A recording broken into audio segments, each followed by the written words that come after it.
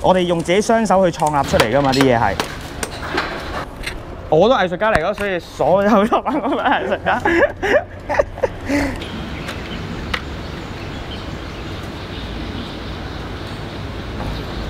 我人生中最開心就係搭棚，然之後隔離鄰舍請我食飯買飯盒。十零歲啊，我諗都係十十十七八歲咯，住大窩口村嗰個婆婆。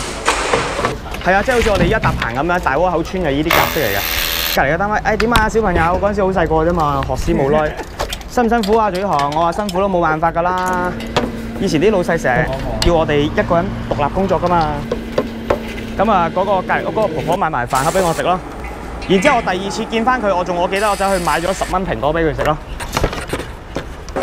搭棚好好玩㗎，搭棚去到一啲誒、呃、平時正常去唔到嘅地方，識到一啲平時你冇可能認識嘅人。最開心你話搭啲咩棚咧，係搭得出嚟，人哋識，真係有有人識得欣賞嘅咯。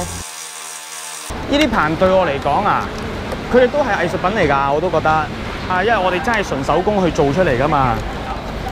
最開心啊，過年食飯咯，我哋公司春茗咯，最開心㗎啦嗰日，即係年頭有咁多人，年尾食飯嗰時都係咁多人平平安安嘅，咁就開心咯。